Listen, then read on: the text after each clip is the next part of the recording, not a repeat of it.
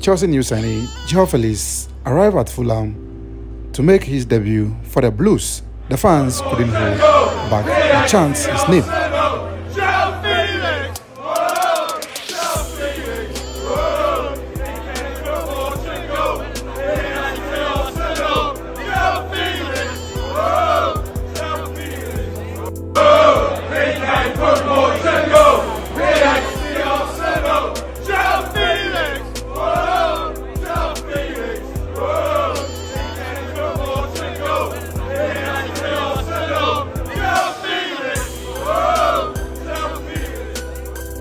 Joao Felix the very best on his debut for Chelsea.